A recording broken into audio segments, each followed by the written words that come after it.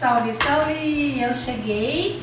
Eu hoje vou falar é, sobre como pintar o cabelo em casa, né? Como, eu sei que hoje em dia quase todo mundo pinta ou quer pintar o seu cabelo em casa. Porque as coisas estão muito caras, né? As coisas estão mais difíceis, cada vez mais difíceis. Só que, gente, é assim, ó, eu pinto meu cabelo em casa há muitos anos, né? Mas também é porque eu sou cabeleireira.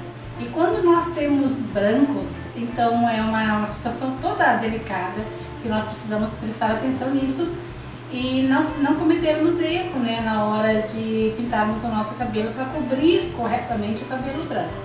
E existe inúmeros vídeos no meu canal, no canal da Brantinha, tá? É só você clicar aqui embaixo, em cima do nome, canal da Brantinha, quando você entrar no canal, você clica em cima da palavra vídeos e depois da palavra vídeos vai abrir um leque de vídeos, aí você vai procurando todos os títulos que você quiser, que tem mais de 300 ou 400 vídeos aqui no meu canal. E a maioria são sobre cabelos, a maioria são sobre colorimetria. São poucos os que são sobre comida, espiritualidade, outros assuntos que eu trago de vez em quando. Eu fiz um videozinho hoje a pedidos, muitas pessoas me pediram para eu dar um passo a passo de como pintar o cabelo em casa, como cobrir o cabelo branco. É, então eu não dei assim todas as informações de cabelo branco, porque eu faço isso em outros vídeos, mas eu dei alguma, alguma pincelada, tá? Que para o bom entendedor meia palavra basta. Só peço desculpa porque minha janela aqui tá mais toda escancarada, então eu fiz a luz do sol. É o seguinte, é, não tem esse lance de, de, se sentir feia ou não. O importante é passar a informação, é mostrar para vocês aquilo que vocês querem realmente saber e ouvir. E é por vocês e para vocês que eu mato essa charada da friura a pau. Vamos lá. Então, gente, eu tenho um espelho aqui, né? E eu coloco um espelho atrás de mim. Esse espelho eu vou arrumando ele na altura onde eu enxergo a minha cabeça só, né? Não precisa enxergar o resto. Então eu vou arrumando, vendo o que, que qual é o ângulo que vai ficar melhor. E normalmente ele, ele vai ficar assim meio que de ladinho, que assim vai pegar melhor tudo. Aí então eu vou arrumando, ajeitando. Consigo enxergar toda a nuca lá, então beleza, é assim que eu vou fazer. Eu começo sempre pintando aqui na frente. Aqui em cima, graças a Deus, eu não tenho mais quase branco, né, gente? Eu quase não consigo mais enxergar os brancos aqui em cima, devido ao fato de eu estar, tomando ácido fólico, então aqui em cima tá muito bacana. Mas aqui embaixo eu ainda tenho uns branquinhos bem resistentes próximo da orelha, dos dois lados.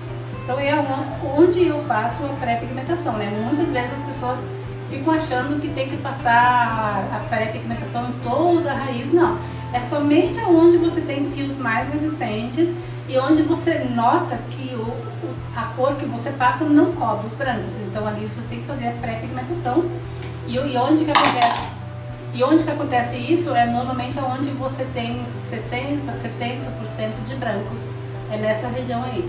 Aqui próximo da orelha é uma coisa muito séria, que se você não fizer pré, sempre vai ficar uns fiozinhos transparentes.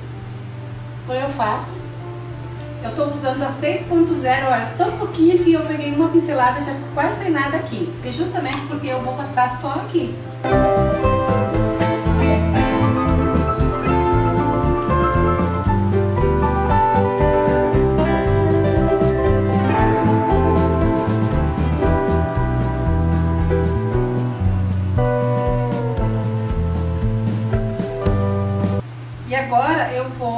A mistura normal da 6.0 com água de 20 e vou passar em toda a raiz.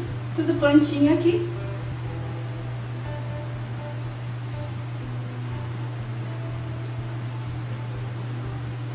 Eu divido aqui de orelha a orelha e faço primeiro a passada aqui na divisão.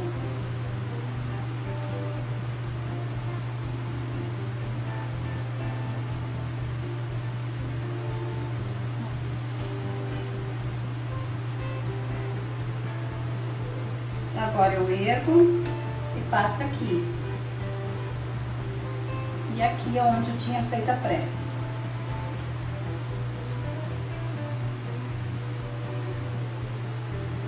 Começo aqui na primeira mexinha acima da orelha. E assim vou fazendo.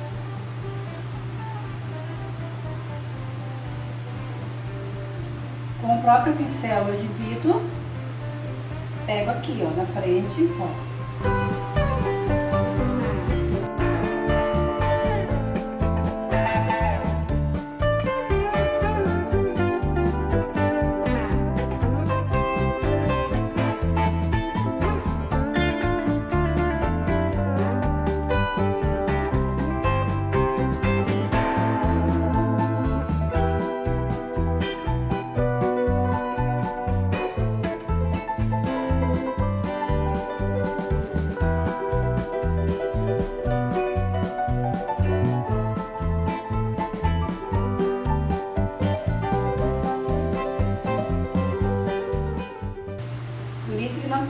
Comprar um pincelzinho bem firmezinho, fininho, que é para nós termos essa facilidade. Se você estiver usando um pincel todo desgastado, todo cheio de, de haste virada para cá e virada para lá, gente, todo mastigado, pode ter certeza que você vai fazer caca no seu cabelo. Principalmente para quem tem luzes, né, e quer conservar as luzes, tem que ter esse cuidado.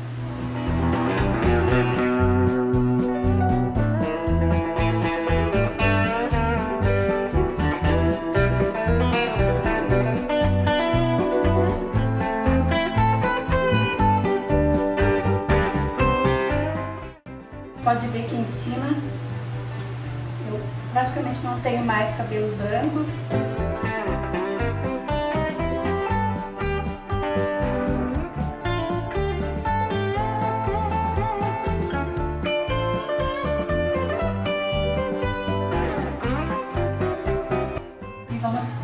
parte mais difícil que é atrás, né? Então eu vou virar pra cá, vou pegar bem embaixo.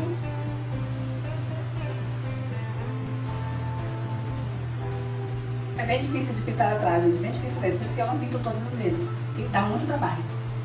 Então eu tô enxergando lá, vagamente, aí eu tenho que segurar o cabelo aqui, ó, pra não ficar pintando mais cabelo do que deveria.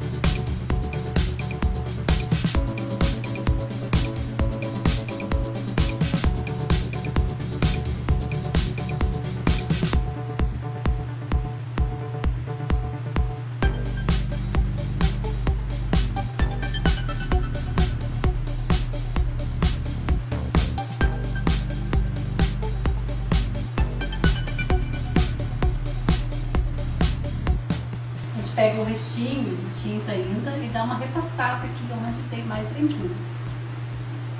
Por isso que essa parte, assim, normalmente ela acaba ficando mais escura, né, do que as outras. E é deixar agir 40 minutos por aí, vai lá. Então, olha só, né, gente, pegou super bem, como eu falei no, durante o processo, que aqui acaba ficando um pouco mais escuro sempre, mas é porque a gente faz esse processo aí de pré-pigmentação. Mas olha, super, super bem coberto. E, e já matando uma outra charada, muita gente está me perguntando qual é a cor do meu cabelo. Gente, se vocês olharem, deixa eu passar assim a mão para vocês verem. Se vocês olharem, o meu cabelo só está claro aqui na frente, tá? No restante, ele está escuro, tem algumas mechinhas no meio, claro, que eu já havia feito. Tudo que eu faço no meu cabelo eu mostro em vídeo, então tudo tá aí no meu canal. Só que esse processo aqui de dar uma entralhada na frente só, eu acabei não passando porque eu fiz um vídeo com uma outra pessoa. Ah, o, o, nome do vídeo se chama Como Fazer Mechas na Frente e Embaixo, né, na parte de baixo do cabelo, atrás e coisa e tal. E esse que se chama Baby Lights, né, a técnica. E eu fiz isso então com uma outra pessoa, por isso que eu acabei não fazendo com o meu. Até porque com o meu, gente, eu não fiz nas pontas, ó. Ó, nas pontas estão loiro escuro, que é a tintura que eu estou usando na raiz desde que eu tirei o cobre do meu cabelo, tá? Então eu, eu acabei fazendo uma mecha aqui, ó gente, como é que eu fiz?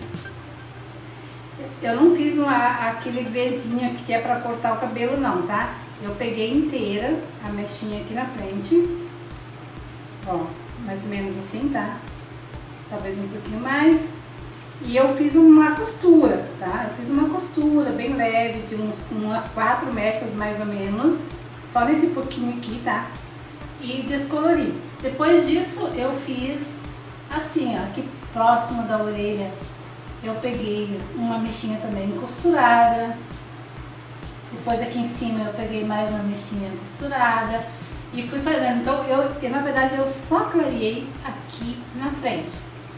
Aqui ó, atrás está todo escuro no 6.0. Às vezes eu pinto meu cabelo com 6.0 mais 6.1 e outras vezes eu pinto só com 6.0. Nesse momento, daqui a pouco eu mudo tudo, fico toda loira, muda tudo, tá? Tudo de bom pra você e Deus abençoe. E deixa sua pergunta aqui embaixo que eu vou responder por vídeo ou por escrito.